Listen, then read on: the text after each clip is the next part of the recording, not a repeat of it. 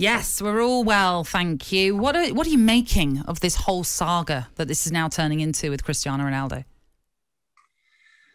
It's all just been very messy right from the beginning. I think uh, from from the moment he sort of asked for a transfer, which was late in the day, really considering his excuse was he wanted to play in the Champions League. Um, he left it really late to, to ask for the transfer, so there wasn't a lot of time. Apparently, he did get offers to leave, and it was the Glazers that, that blocked the move. So, a very difficult situation for for the manager. The manager showed a lot of strength in, in not playing him. I know he didn't do a pre-season, so he probably wasn't fit to the, towards the start of the season, but I'm sure he is now. Um, and it's going to be a very difficult place for the manager to be in. I mean, you know, Ronaldo is record goal scorer, unbelievable goal scorer throughout his career, and and at times last few weeks United have probably looked like they needed a goal scorer, and and to not put him in and stick stick by his guns and, and play the team that he wants to play with his closing down and, and pressing sort of uh, philosophy, uh, full mark to the manager, but uh, it seems to be getting very messy. It does all feel very messy, and in in a way, it's starting to feel a little bit toxic as well. Um, I mean, ultimately, who's going to win this battle? You imagine where the way things are, it's going to be Erik Ten Hag. Well, the, the club's always bigger than any player. Any, anybody that's been at the club will tell you that. Um, but but I think it is a little bit uh, spoiled bratish by, by Cristiano. I think uh, I think he's a bigger and better person than that. I think the players in the dressing room and that were on the pitch will will look up to him for, for what he's done throughout his career. And this shows just a little bit of pettiness that, that didn't really need to be doing. It's not it's not sort of 10, 15 minutes before the match. It's, it's sort of two minutes or a minute left on, on the clock. So mm. Why he has to leave then and can't just wait on the bench and congratulate his teammates after, uh, I don't know, because it was an amazing performance and, and it, it, it's taken away from that. Lee, you playing under, under Alex Ferguson. How, how would he deal with this? difficult, difficult question, Dino, because um, I mean, he, he, obviously loves Ronaldo. He's like a bit of a long lost son to him. So he would probably deal with it differently towards Ronaldo than he would to anybody else doing it. Um, but but I'm just not sure that when Sir Alex was there, this would have actually happened. I think people would have known the rules and the laws and, and what comes of it. And I don't think it would have happened. We had, we had a lot of senior players towards the you know, come to end their careers. That, that, I mean, Brian Robson, one of them was was on the bench. You would never see Brian Robson walking off because he couldn't get on on the pitch. So, um, like I said, said before, it's a difficult situation for the manager, but he seems to be dealing with most problems very well at the moment. Well, it's a, it's a tester for him to change the culture that you're on about, mm. which Alex Ferguson had the culture of you do what I ask you to do, and I mean I heard the story about uh, Eric Cantona when he went around the dressing room and he says, Eric, you can't do that. He had to go everybody else. But I, I, I can't imagine him saying to the stewards, can you part the ways a bit, let Ronaldo walk off the pitch a bit more freely, lads, get out of the way of his, get his car for him and let him go. But I mean, I think Ten Hag right now is building that sort of discipline, and this is another hurdle he's got to get over, a big one. Oh, hugely! Uh, I, I, totally agree, mate. Uh, I think um, I think the discipline has been missing from the club for years. I think I think that probably comes when when managers are getting changed um, at a pretty, pretty quick pace.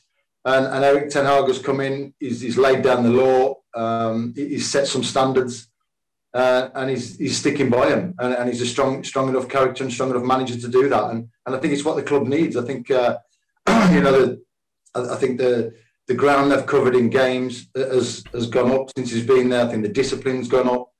Uh, the aggression on the pitch has gone up, and I think it's all down to the manager. And I think uh, he'll, he'll, deal with this, you know, accordingly. Uh, I, I, think he's he's a pretty cool, calm customer, uh, and, and, I don't think he takes any rubbish from anyone. No, no matter what your name is, how big you are, he knows what the club wants. He knows what he wants, uh, and he's not prepared to, to let anyone get in the way, spit the dummy out, and, and ruin what he's building. Hi, Lee. Kev Campbell here, mate. Do you think Ten Hag could have dealt with this early in the summer when he came into the club because let's let's be honest, the big problem player at Manchester United for him is Cristiano Ronaldo. So if you go and see him face to face, maybe this type of incident wouldn't happen. Yeah, I, am not sure exactly how the, how the meetings went during the summer when, when the manager took over and Ronaldo was there, but uh, from from my understanding, the manager was quite happy for him to leave because he wanted to leave. Um, and, and it was the Glazers that, that wouldn't let him go. I'm not sure how true that is or how much of that is just rumour and, and, gossip. Um, so, so the manager was quite prepared to allow Ronaldo to do what he wanted to do, and it, and it was a, it came from above him that he wasn't allowed to stay.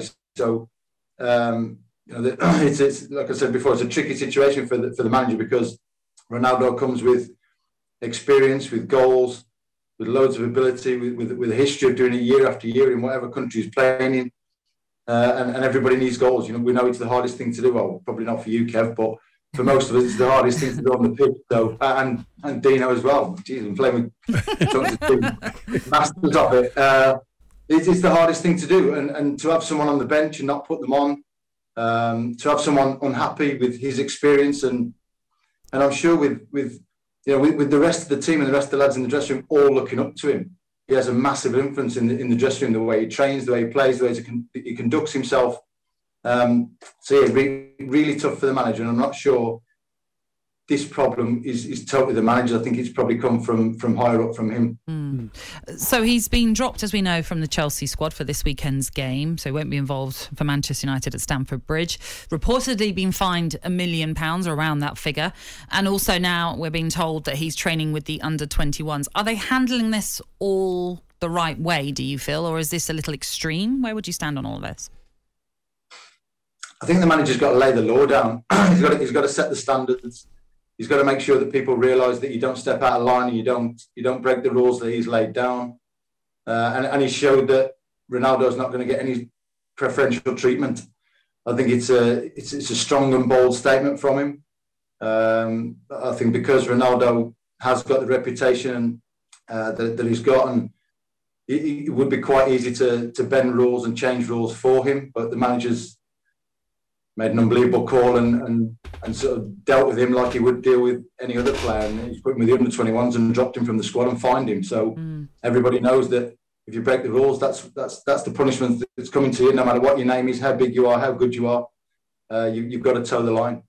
Lee, we had this sort of thing with Paul Pogba, and unfortunately for the football team, it's overshadowed the result they got, and it's overshadowed how well they're doing and, and how well the team's starting to gel.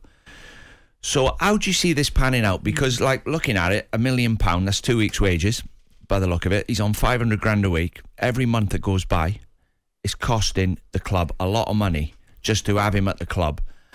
He's training with the under 21s. We've seen players doing that in the past. And every day he's going to be on the back page while he's still at the club. How do you see it panning out? Because they've got a big game against Chelsea coming up. And we probably won't even speak about that. It'll be all Ronaldo. Yeah, and, and, and that's that's the the shame of it, really. I suppose um, the the team probably played the best I've seen them play for for quite a while. They, they absolutely dominated and battered Spurs. It could have been four or five. Lloris pulled off some unbelievable um, unbelievable saves. Uh, it, it is it is a shame, but, but what do you do, Dino? You know the, the, the transfer window is closed. You can't go anywhere. Um, the best you can do for the for the manager is just concentrate on, on the players that are inside the dressing room walls try not to get them to to look at too much media and press coverage because uh, it's going to be taken away from them and, and put on Ronaldo. Maybe, maybe, it's a good thing. Maybe it's a good thing that Ronaldo gets all the press and the and the and the team can just tootle along and, and get on with their things without without too much uh, heat on them. Um, but yeah, like you said, at the moment it's taken away from a really good performance. The team are getting better. You can see them getting better every week. I know they had a massive slip up against City, but anybody anybody can do that against City if you uh, if you go off to a bad start. So they've shown that they can come back from that as well. They've shown very good resilience yeah. and, and a bit of team bonding and, and team spirit. So to come back from that uh, as well as they have done is, is another great credit to them. Uh, and, and and along the season, you know the players will will get their plaudits. Uh, but maybe at this time it's just time to uh, allow Ronaldo to to carry on with the, with with the torch of the media and uh, and, and go under the radar and just concentrate on your game. Mm. Lee, pleasure to chat to you. Thank you for yeah, being with us. Lee. Cheers, Lee. cheers, Dino. Cheers, Kev. Thank you. Yeah, I mean, as Lee was saying there very quickly, bar that Manchester derby, every time they've taken on a, a so called Big Six team, they have taken a liking to it, having beaten Liverpool, uh, Arsenal, and Spurs most recently. Mm. So, uh, Chelsea next for Manchester United, in which is a 5:30 kickoff tomorrow. Talk Sport Breakfast with Alan Brazil. Thursday and Friday morning, 6 till 10. On AM, on DAB, via the Talk Sport app, and on your smart speaker. Talk Sport.